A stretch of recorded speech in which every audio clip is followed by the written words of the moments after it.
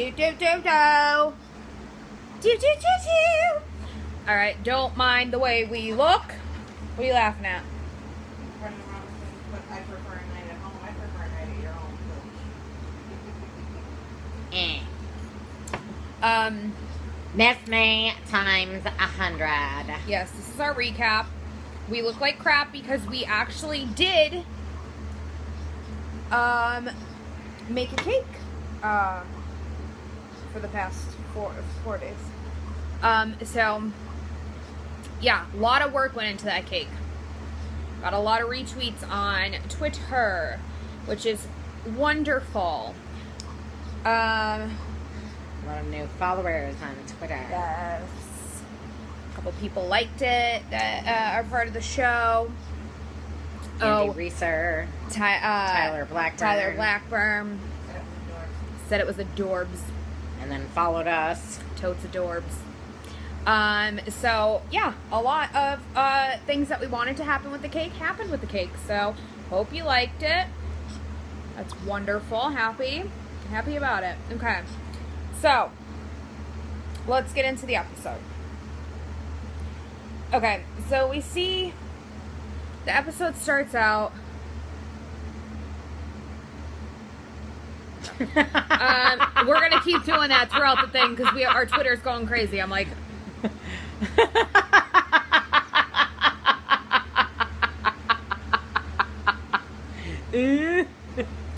um, so yeah, we. It starts out with what the hell's her name? Hanna, talking to what was it? Travis. Travis. Yeah.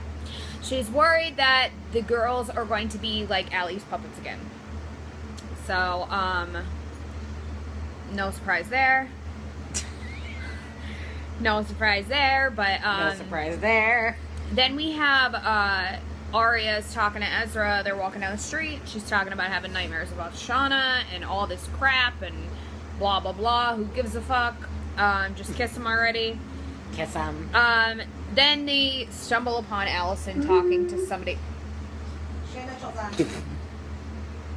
right, talk about it. They stumble upon Alison talking to somebody outside of what was it, DiLaurentis Real Estate, and she said that somebody was dropping her off to drop off something for her father. I can't remember exactly what she said. Let me see this paper. She she said she had to pick up the papers to for school to go back to school. Okay, yeah. Then, as they're standing there, a bus pulls up. We expected it to be Caleb's ass jumping off, but no. It was Jenna. Blind Jenna, who somehow was able to see them standing across the street. Yeah. Because it certainly looked like it. Then we come upon Toby and Spencer having a conversation. He's rereading Fitzgerald. Yeah, And- rereading, rereading, rereading. Everybody's been saying he's rereading it. He's fucking rereading it. He already read it. He's gonna read it again, and then he's, He's, gonna not read it only reading again. it, but he's rereading it. yeah, And he gets a phone call while sitting there, and it's from Jenna. And she's all about Shana. Good riddance, you fucking bitch. And peace the fuck out. Toby happens to mention that he hasn't spoken to her since she She's in moved New to New York. Since she moved to New York. Since she moved to hey, Sorry, there's a cat fight going on here, and it's not Ali and Mona. yes, Anyway. So, anyway, we find out that Jenna lived in fucking New York. that's where Jenna's been. Want to She's get been in the in New video? York. Oops, sorry, I wasn't in the video. Okay. So um, what the hell is that word after they? Oh, they are? They are afraid of Jenna. Yes, all the girls get, come together and they're all talking about how, you know, Jenna's back with a vengeance. Die Hard 5 in this bitch. um, she's back. She knows everything. Jay. Um, so now they're talking about Jenna about her wanting revenge for the whole Jenna incident, the whole Shana thing. Now she's gonna want revenge for. She knows it's a murder and not, you know what I mean. She believes it's a murder, so she's gonna be looking for and she whoever did it. believes correctly so, but that's neither here nor there. So, Ali says to the girls, like, you know, oh, these are not my cigarettes.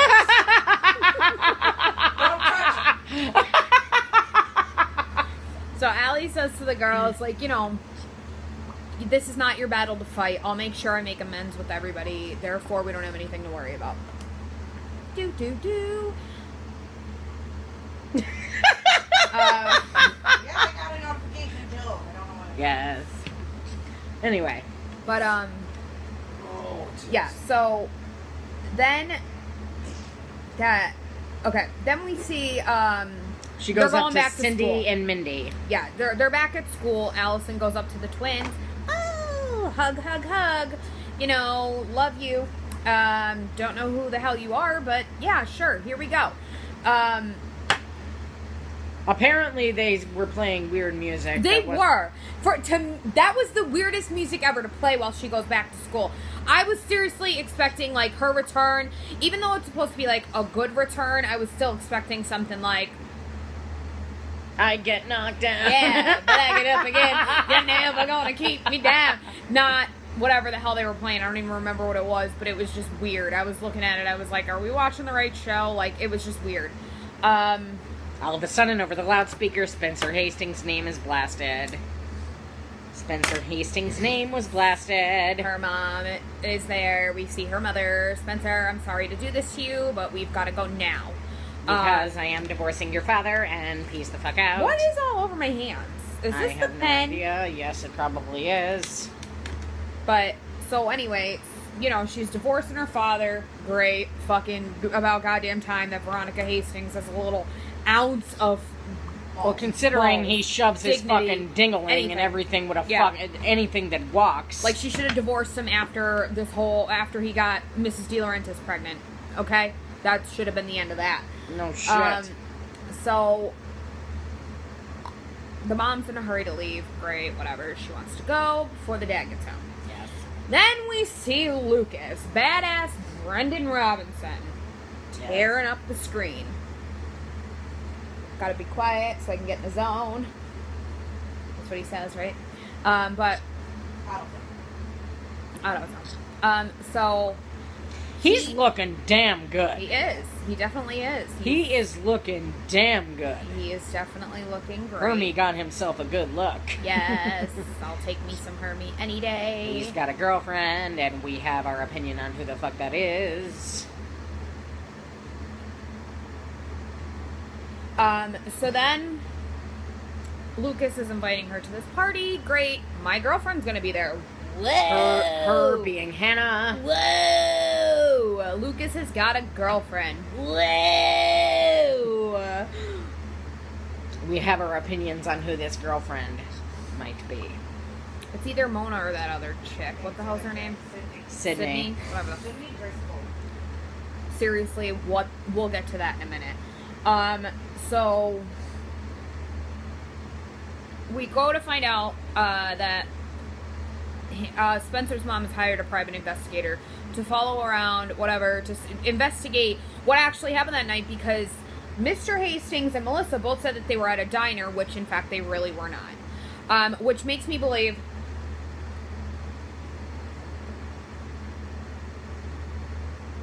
Which makes me believe that uh, no one's looking at you. We were looking at the, the phone. Our Twitter's going on. Which makes me believe that he's not going to really be. I mean, I, he, I guess he could go back and check to see if they were at the diner, but it makes me believe that she hired that private investigator before all of this. Mhm. Do you know what I mean? For him to be able to follow them and see if they were at the diner. Do you know what I mean? Something's up with that. So, um, they have to leave. Again, Spencer asks for answers and, uh, come on, mom, just be honest with me. And she goes to be honest with her and then doesn't say anything. What else is new? It's PLL. Um, Then we see Oh, Aria going to see Jenna. She walks into the house and Jenna's sitting there and, you know, I guess whatever. She didn't realize that Jenna was still fucking blind. Because when Jenna said to her, Who's there? Who's there? She like hightailed it out of there like there was a fucking fire under her ass. Yeah. And Jenna was sitting there crying, presumably about Shana, but who the hell knows. I really, I felt bad for her at that part. I, I did too. Not that bad though. Paige got blonde highlights. Yeah, Paige has blonde hair now at the bottom. It's all blonde at the bottom. That's looks just like Alison's hair. Like what the hell? What the hell? Yes. Which makes me believe that it was Shana. I mean that that it was Paige that met Mona in the hair salon that day. Because she comes back and boom, boom, got hair going. What? It very well could have been. Then her and Emily and Alison have the love triangle going on. Yeah, they're all in a room. It's like a the Vietnam War in there. Like I don't even know what the hell to think. This person's know. mad at this person. I don't. I don't fucking know. But her and Ali are crying, and she's saying what a bitch Ali was, and how she hurt so many people, and she wasn't a good person. And Ali supposedly, you know, is trying to change according to what she said. So, mhm. I don't understand what you have there.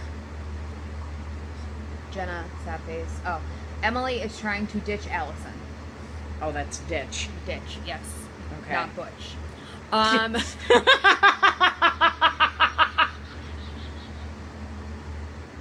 um. So she's like, oh, you know, can I come?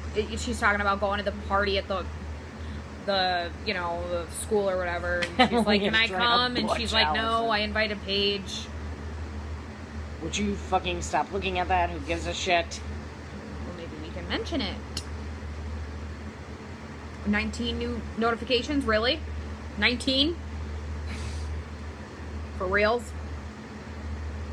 Talk to about the next one. But she ditches her. Alison had feelings for. Oh, okay. I guess you meant about how she said that the kissing that they had done wasn't just for practice. Is that what you mean by that? Because you cut it off. You're like, Alison had feelings for. Wait, what? How she was saying that the kissing wasn't just Yeah. practice. That the kissing wasn't just practice. So Alison is saying that she did have feelings for her. Now, do we know that that's Mm. true? Because everything that comes out of Alison's mouth is a fucking lie. Uh, okay, so then we go to the cafe. Wonderful, great. Hanna's getting coffee, and boom, turns around. There's Caleb. Like, really? Looking fucking damn good. Really? Like Caleb looking good. Like better than he's ever looked. I don't care what anybody says. Everyone's like, "Oh, bring the long hair back." And no. A no. He looked good tonight. Yes, he did. Really, really good. But seriously though, like how do you come to town? Like how do you come back to town and not tell Hanna? I don't care if your Ravenswood show got canceled or not. That is not okay. That is not okay. And Hanna was like, like really you're back and like you wouldn't say like why would you not call me like you know what i mean like why would you not like th- th- they didn't leave things in a bad way that's what is like confusing to me you know what i mean I know. and i don't know what the hell happened on ravenswood because i didn't watch it so i don't know if like he's going through some kind of like meltdown or what or what the hell's going on in his life but he is not very nice he turned around and he threw a back to the future uh line in there hey biff why don't you take it outside like he was just like he totally did too. yeah, he, he was not having it. So he was just miserable as cat shit. So, Yeah, it was. but poor little Hanna. Next thing you know, we see Hanna standing there on her phone, drunk dialing Caleb, completely drunk off her ass. Drops her phone on the ground. Lucas to the rescue. He picks up the phone. Apparently, his girlfriend that he's been yeah, boinking. didn't show. Porking Hmm, for Wonder this show. why. Porking. Wonder why. Let's really quick come back.